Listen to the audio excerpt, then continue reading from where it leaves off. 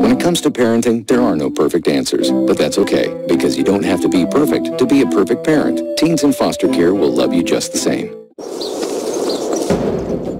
They are the greatest fighting force the world has ever seen. But what does it take to bridge the distance and keep them connected to family, home, and country? What does it take to strengthen our service members so they can be the greatest force for good in the world? Takes